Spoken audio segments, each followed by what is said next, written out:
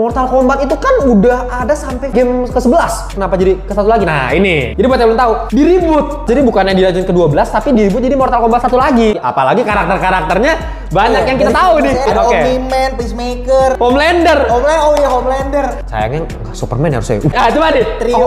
Homelander, Omni-Man sama Superman. Yang bakal menang siapa? Superman lah. Oh, Superman. Gila lu kalau bilang selain Superman anjir. Eh, orinya dong, orinya.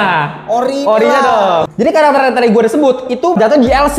Nah ini Omni-Man bisa lu beli kalau nggak salah tuh di bulan depan sih. Nah kemarin trailernya baru keluar. Di Mortal Kombat ada satu jurus. Ini jurus yang maksudnya yang paling brutal. Namanya Fatality. Fatality-nya si Omni-Man udah dikasih lihat di trailer. Jadi ada satu scene di series Invincible. Dipegang kalau nggak salah lehernya. Kereta lagi ini diginiin. Jir. Sampai orang yang di dalam kereta tuh dikasih lihat semua terbang-terbang, darah muncrat ke mana-mana. Jadi lu ngedamage anak lu sendiri, kakek mayat manusia lain. Iya. Anjing.